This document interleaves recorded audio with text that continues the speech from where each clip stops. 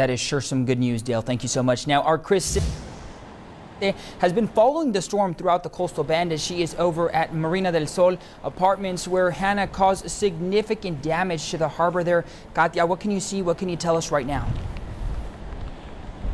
It did, and I have some great news to report right now, Javi. The three people that were stranded in their boats have been rescued tonight. That is wonderful news to hear. Let me step out of the way so that you can see what crews were dealing with. I mean, I don't know if you can really see much, but there's a boat that we've literally seen while we've been here sink in the bay. Several boats are taking water.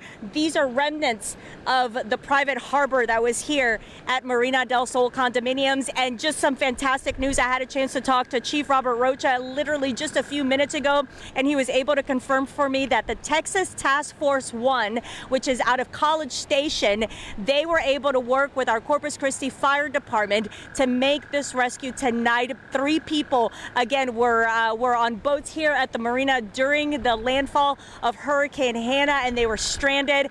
And uh, again, uh, Texas Task Force One was able to make that rescue just within the last couple of minutes. Um, they say that uh, rescues like these are technical in nature and just the complexity of it because obviously we're in the middle of a hurricane. It was really difficult to do. But again, fantastic news here from Marina del Sol. Reporting live, Katia Uriarte, back to you, Javi.